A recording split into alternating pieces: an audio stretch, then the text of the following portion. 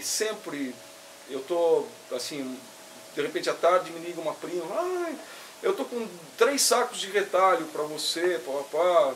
Ah, legal, passo lá e pego. Então eu vou acumulando também retalhos e tal. Agora eu compro, de vez em quando eu vou em loja de tecido e compro retalho de tecido, porque eu preciso para algumas coisas para fechamento, porque eu preciso de algumas coisas que eu preciso específico, eu preciso de uma, uma determinada estampa, de um determinado formato, determinada coisa. E, e assim, mais ou menos, a coisa de compra é isso. Eu, eu, você me contou que você vem de uma família conservadora, você tem uma formação de, de engenheiro, então acredito que ao longo do, do seu tempo que você está dedicado à arte, você deve ter visto uma série de narizes torcendo para você. De, puxa vida, largou tudo para ser artista, que para muita gente conservadora, artista é quase que um sinônimo de quem não tem nada para fazer. É. Isso, e, e nas instituições, aí acontece ao contrário, porque eles vão olhar para você e falar assim, puxa, mas esse aqui é um engenheiro, trabalhou numa mega É, estatal, é. foi, é, participou do governo e aqui está sem nenhuma escola de belas artes, É. é, querendo mostrar um quadro para gente. Como foi lidar com os dois lados? Na verdade, você teve problemas com os dois, Olha, né? você sabe que, é sem dúvida, eu, eu- essa história de ser meio fora da lei, entre aspas, foi um. Apesar que isso foi minha vida, né? Quer dizer, eu, eu sempre fui um fora da lei nesse sentido. Quer dizer, eu, sempre, eu nunca segui. Eu nunca segui tendência, eu nunca segui. Eu não faço parte de clube, eu não. Eu não eu não, eu não sou assim, dizer, então eu sempre fico meio fora dessas coisas. Agora, se você pegar ah, a coisa, é- esse universo meu eh, que não pertence à arte é uma coisa que está, por mim foi descartada e ela não existe no meu dia a dia, nem, nem existe na minha proposta de apresentar alguma coisa. Então, isso é uma coisa que as pessoas sabem quando me conhecem. Eu não, me- nem me vanglorio disso em absoluto. Ah, Quanto à história de ser artista e não ter feito uma faculdade de artes ou feito alguma coisa específica de ensinamento de arte, eu, no meu caso, para mim funciona como uma enorme vantagem. Mas é assim, uma enorme. Eu, isso eu tenho orgulho, realmente. Você acha que você não se prende a, a, Não, a absolutamente. lições de... Meu trabalho é esse é o meu trabalho, quer dizer, eu procuro fazer ele da melhor maneira possível e é dessa maneira que ele é. Se meu traço no pincel não tem uma, vamos dizer, uma exatidão do Paulo Pasta, paciência, o Paulo Pasta é um mestre nisso, eu não sou mestre nisso, meu trabalho é outro, minha, minha maneira de me expressar é outra. Quer dizer, então, é, fui aprendendo da melhor maneira possível, muitas vezes por observação, muitas vezes algum artista me fala, olha, se você diluir um pouco mais, você vai aprendendo detalhes de coisas, você vai aprendendo por observação, por, por convívio. Agora, eu não vejo nenhum problema em ser um artista e, e não ter feito nada acadêmico. Bom, nesse tempo que você é, começou a trabalhar com arte, que é bastante tempo, você deve ter feito o seu caminho das pedras. Ah, eu sempre faço essa pergunta como a última pergunta, assim, tem sempre um artista que está começando. Ah, sugestões para que esse artista ah, siga um caminho e tenha um pouco menos de, de sofrimento para desenvolver na carreira.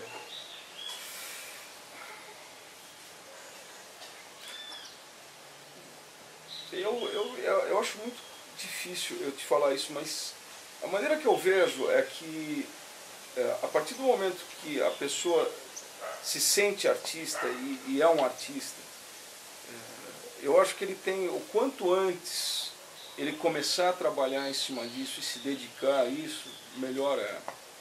Porque com arte é uma coisa que nunca vai parar. Nunca vai parar. Se eu viver até 90 anos, eu vou continuar até 90 anos, porque é o caso de todos os artistas idosos que eu conheço que trabalham até morrer.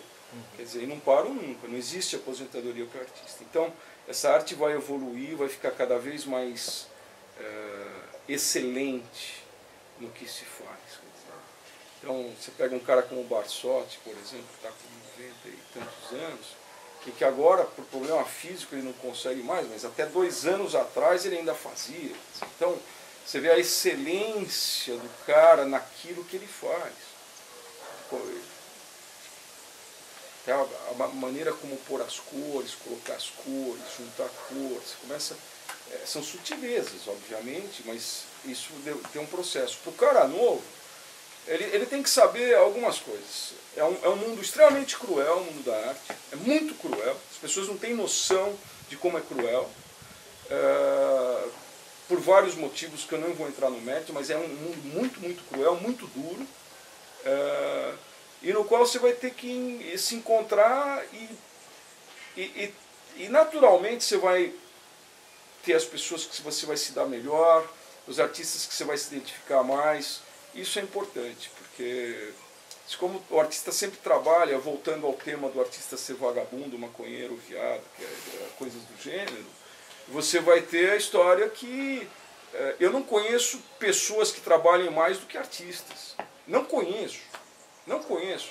É, a arte é um negócio de 24 horas. Tem gente que fica. Eu conheço uma artista que, quando ela entra no processo de trabalho dela, ela trabalha sem parar. Sem parar, sem parar, sem parar. Não tem, não tem essa de feriado, de domingo, de fim de semana na praia. Não tem. Quer dizer, o artista é isso. Do mesmo jeito que ele pode parar cinco meses, eu esse ano fiquei dois meses e meio sem tocar, fazer nada de arte. Mas eu passei dois meses e meio numa maquinação infernal na minha cabeça. Quer dizer, eu considero isso trabalho. Quer dizer, então é uma forma de ver o trabalho. Quer dizer, que a sociedade se acostumou tanto com essa história do, do cartão, das 8 da manhã pegar o carro e sofrer no trânsito e blá, blá, blá, que eles acham que isso que é trabalho. É uma forma de trabalho. Que eu muitas vezes não entendo como uma pessoa consegue fazer isso sistematicamente a vida inteira, porque eu já fiz. E eu para mim não funciona, não é o que eu quero da vida. Vou trabalhar como artista. Agora tem muito artista jovem, você vê muito artista jovem que já é natural, que é você vê muito artista jovem que é a tendência é ser um artista comerciante, porque você tem muito artista que é comerciante, que é muito bom comerciante. Você tem artistas de sucesso que são extraordinários homens de marketing, extraordinários. Deviam ser homens de marketing do ano, na verdade, que são muito bons no que fazem. Uh, e são muito bons comerciantes. E conseguem chegar numa situação econômica uh, e mais tranquila mais cedo.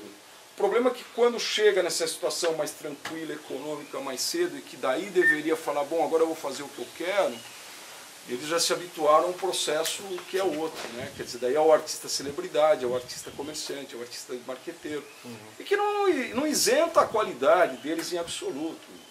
Eu conheço artistas que viraram celebridades, que praticamente são só celebridades hoje, que não isenta que numa determinada época da vida fizeram um trabalho extraordinário, extraordinários dentro do contexto histórico. Mas por vários motivos viram celebridades, outros viram marqueteiros, eh, marqueteiros sem demérito, eu não quero ofender classe nenhuma, mas viram artistas marqueteiros e, e também não isenta o que fez para chegar nesse ponto, ele tem que ter um produto para vender que muitas vezes era muito bom, muitas vezes não, muitas vezes sim.